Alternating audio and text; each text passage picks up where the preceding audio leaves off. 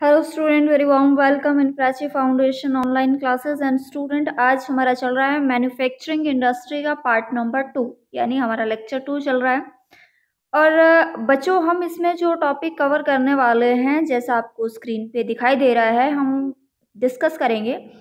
Factor influencing location of an industry इसके अलावा हम डिस्कस डिस्कस करेंगे some major industry of the world जिसमें हम सिर्फ़ एक इंडस्ट्री को बहुत डीपली स्टडी करेंगे और वो है आयरन एंड स्टील इंडस्ट्री ठीक है बच्चों? तो ये लेक्चर आपको तभी समझ में आएगा जब आप लेक्चर नंबर वन की स्टडी करके आओगे। अगर नहीं किया अभी तक तो आपको डिस्क्रिप्शन बॉक्स में लिंक मिल जाएगा पार्ट वन का तो आप पार्ट वन देख के आ सकते हो। ठीक है? तो चलो बच्चों, बढ़ते हैं आगे। और सबसे पहले हम जानते हैं कि जब भी कोई इंडस्ट्री इंडस्ट्री की हमने डेफिनेशन पीछे लिख ली है थी पार्ट वन में, ठीक है? इसलिए हम कुछ ऐसे टर्म्स पढ़ेंगे जो हम डायरेक्टली पढ़ते जाएँगे। क्यों? क्योंकि मैंने पीछे उसको बहुत डिटेल में समझा चुकी थी। तो जब भी कोई इंडस्ट्री जब किसी जगह पर सेटअप होती है, ठीक है?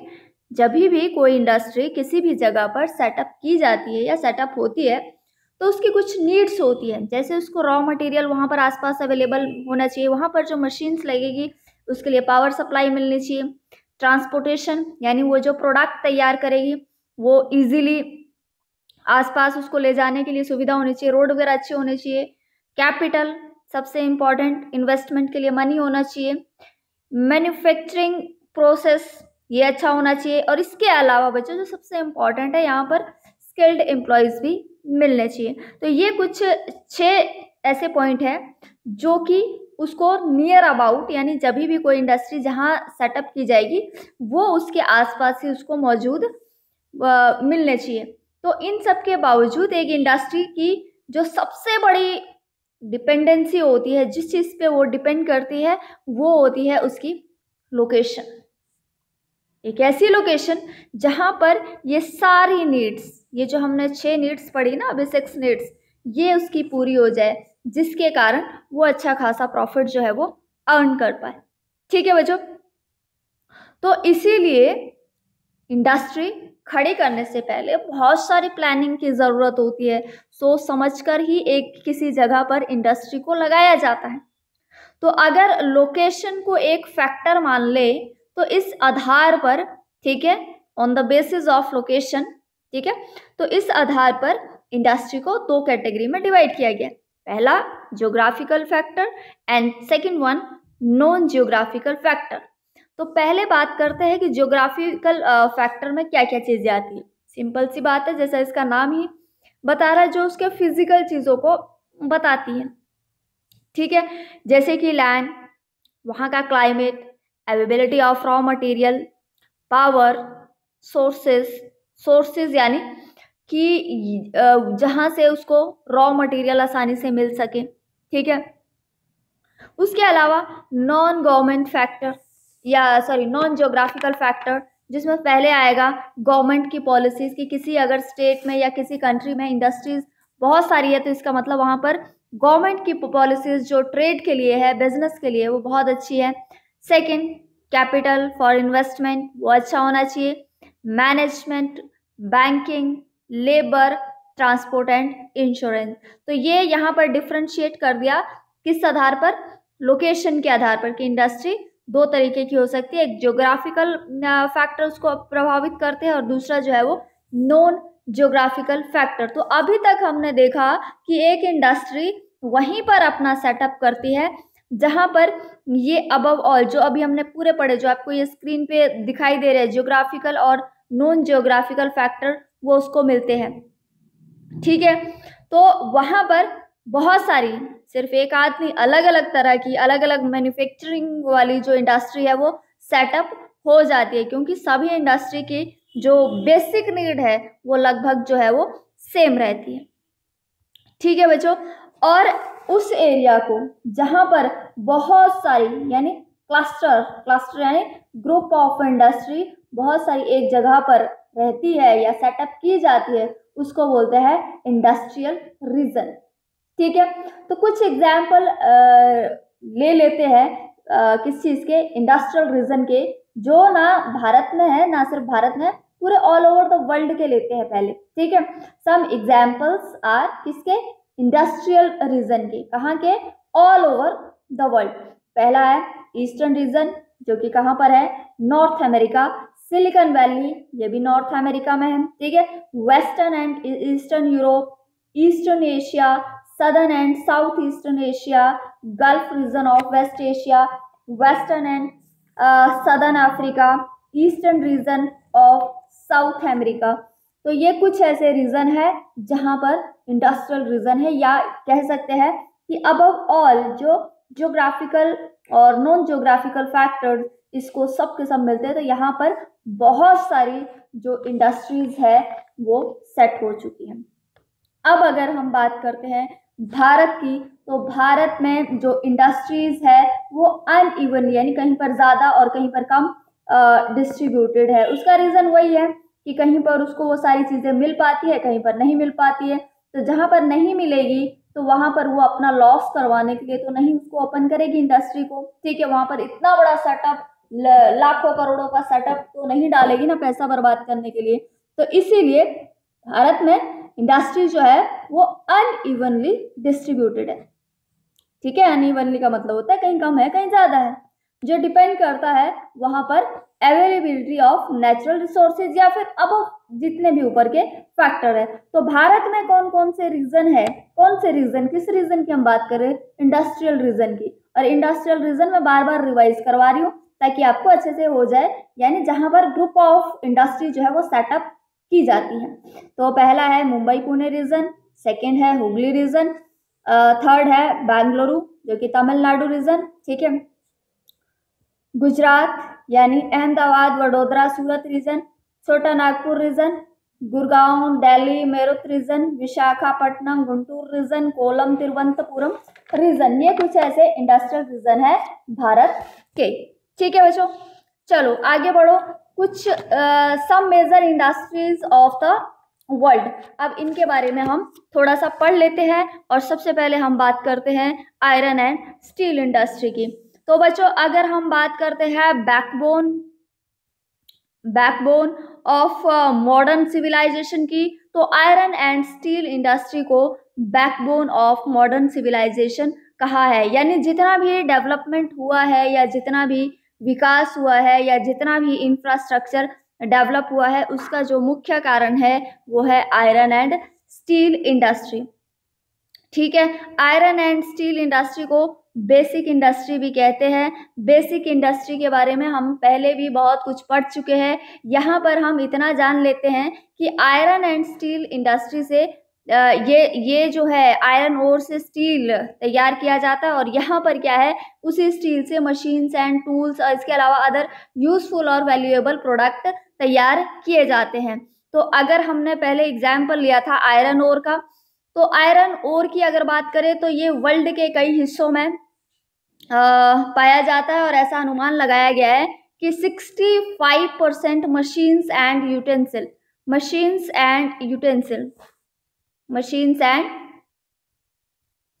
utensil utensil होते बच्चे बर्तन जो कि आपके किचन में यू किचन में यूज़ किए जाते हैं, ठीक है?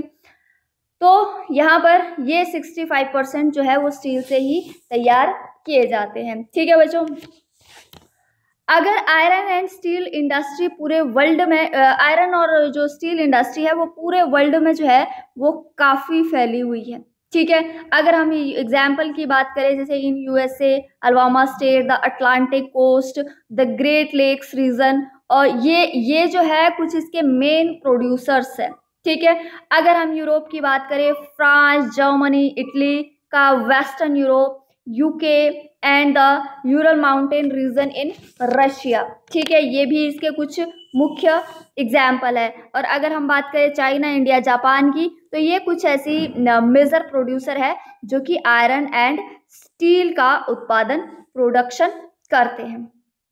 ठीक है तो अगर हम बात करें बच्चों अपने भारत की तो भारत में आयरन एंड स्टील का गुड क्वालिटी का जो प्रोडक्शन है, ठीक है, वो हज़ारों साल पहले होता जा रहा है और इसका जीता जागता सबूत जो है, यानी प्रूफ है के पिलर में देखने को मिलता है।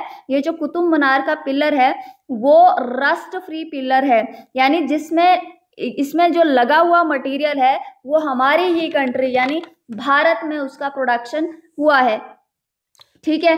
पहली आयरन एंड स्टील इंडस्ट्री जो है 1907 में स्टैब्लिश किया गया था, जिसका नाम था T I S C O यानी Tata iron and steel company जो कि साक्षी में लोकेटेड थी, ठीक है? और जो कि अब जो है वो झारखंड साक्षी यानी जमशेदपुर, और अभी जो है वो झारखंड स्टेट में है। ठीक है बच्चों?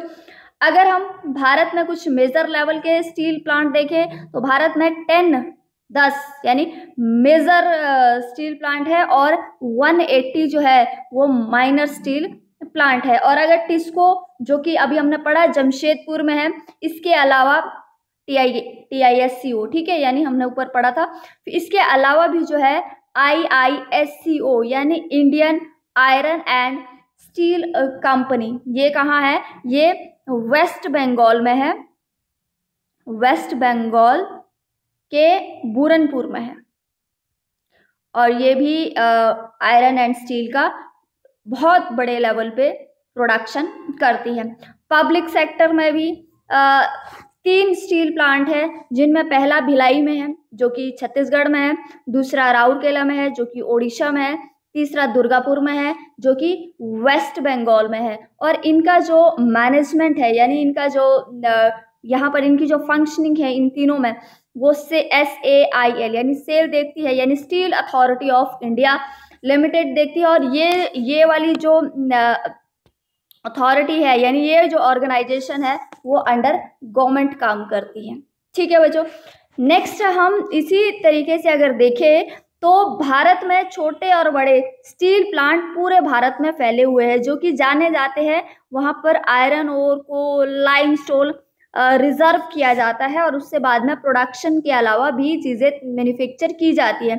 इनके पास आयरन एंड स्टील, ठीक है, करने के लिए काफ़ी सारे रॉ मटेरियल अवेलेबल होते हैं। रॉ मटेरियल के अलावा भी दूसरे कई और चीज़ें होती है जो कि इनकी ज़रूरत होती है। कुछ दूसरे और भी फैक्टर होते हैं, जैसे थर्मल पावर मशीन्स को चलाने के लिए इलेक्ट्रिसिटी चीप लेबर कम कम प्राइस में काम करने वाले लोग बिग मार्केट और अपना जो प्रोडक्शन आपने सामान किया है, उसको बेचने के लिए आपको मार्केट चाहिए होता है। तो इन सब फैक्टर के होने के कारण भारत कई इंडस्ट्री के लिए आइडल जगह बन चुका है। यानी बाकी इंडस्ट्री भी जो है, वो भारत में अपनी इंडस्ट्रीज़ को सेटअप कर रही है, यानी कई देशों की जो इंडस्ट्रीज़ हैं। ठीक है बच्चों? नेक्स्ट हम बात करेंगे Tata iron and steel company जैसे कि T I S C O तो Tata iron and steel company जो कि हमने पढ़ा था, वो कहाँ पर है? जमशेदपुर में। तो करीब सौ साल पहले ही टी आई एस सी ओ को जमशेदपुर में एस्टेब्लिश किया गया था। सर जमशेद जी टाटा के द्वारा। ठीक है? यह एक बहुत ही बढ़िया शुरुआत थी क्योंकि इसमें लेट जमशेद जी नुसरवान जी टाटा द्वारा एक नए सिटी की जो है वो स्थापना की गई थी जो कि अभी थोड़ी देर पहले हमने पढ़ा था साक्षी बाद में उसको आ, नाम दिया गया किस चीज़ का नाम दिया गया था? जमशेदपुर। झारखंड तो उसकी स्टेट था। जमशेद ठीक है? ये सिटी जो थी, ये जो शहर था, अगर हम देखें, ये झारखंड की ये जो सिंहभूम डिस्ट्रिक्ट में लोकेटेड है, यानी ये जो जमशेदपुर है, ये झारखंड की Singhbhum Singhbhum S I N S I N नहीं आएगा S I G H Singhbhum district में लोकेटेड है। ठीक है? ये जो शहर है चारों तरफ़ से, डेल्मा हिल्स, छोटा नागपुर प्लेट्यू, छोटा नागपुर प्लेट्यू, ठीक है? और यहाँ पर सुबर नरेखा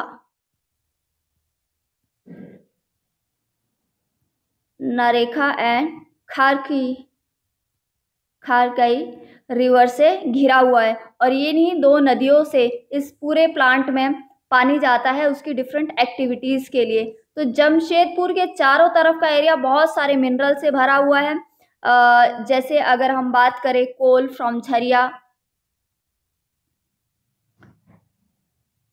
झरिया, ठीक है, उसी तरीके से iron ore iron ore limestone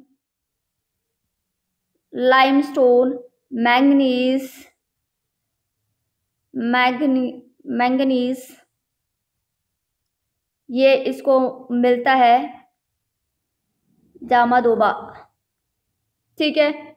इसके अलावा ये सारी चीज़ें, Noamundi and west Bokaro west Bokaro. ठीक है?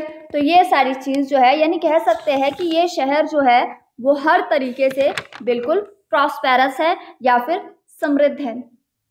एक चीज़ और बता दूँ यहाँ पर मैं कि यहाँ पर यहाँ पर थोड़ा सा पीछे ले चलते हैं कि यहाँ पर इलेक्ट्रिसिटी के लिए इनके पास अपना एक थर्मल प्लांट है और यहीं से इन, इस पूरे शहर को जो है, वो इस प्लांट को यानी इलेक्ट्रिसिटी सप्लाई होती है। ट्रांसपोर्ट की बात करें तो यहाँ पर रोड और रेलवे दोनों ही नेटवर्क बहुत अच्छे हैं। तो जहाँ पर जो फिनिश्ड प्रोडक्ट है, उनको आसानी से कोलकाता पोर्ट तक, ठीक है, वो भेजा जा सकता है या ट्रांसपोर्ट किया जा सकता है। ठीक है बच्चों नेक्स्ट बात करते हैं कि जमशेदपुर में सिर्फ़ आयरन और स्टील के अलावा बहुत सारी अलग अलग तरह की मेजर इंडस्ट्रीज़ है, जैसे ट्रक मैन्युफैक्चरिंग इंडस्ट्री टिन की प्लेट बनाने की industries iron sheet industry locomotive engines बनाने की इंडस्ट्रीज़ रेल व्हील स्लीपर जो कि रेलवे के लिए तैयार किए जाते हैं। तो मैन्युफैक्चरिंग के अलावा आयरन एंड स्टील को भी बड़ी मात्रा में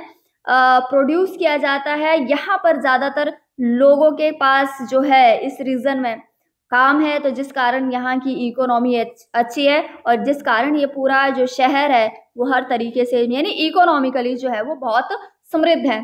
इंपॉर्टेंट चीज़ बच्चों समझ लो कि वर्ल्ड की कुछ major iron ore producing countries कौन कौन सी है। तो पहले आती है China, Australia, Brazil, India, Russia, South Africa, Canada and Sweden. तो बच्चों यहाँ पर हमारा जो फिनिश होता है, अपना टॉपिक और जो हमारा दूसरा आ, ये जो टॉपिक था हमारा आयरन एंड स्टील इंडस्ट्री का ये फिनिश हो रहा है। अब हम नेक्स्ट टॉपिक पढ़ेंगे कॉटन टेक्सटाइल इंडस्ट्री ठीक है बच्चों? जहाँ पर हमने इस टॉपिक को बहुत ही डिटेल से समझा और कोई अगर डाउट रह गया होगा ठीक है तो आप कमेंट सेक्शन में जाकर डाउट पूछ सकते हैं और कोई चीज़ें आपको और समझनी है तो आप ज़रूर बताइए। कोई टॉपिक आपको दोबारा से समझना है। ठीक है? तो चलिए आप रिवाइज करके आइए। तब तक हम नेक्स्ट लेक्चर में मिलेंगे।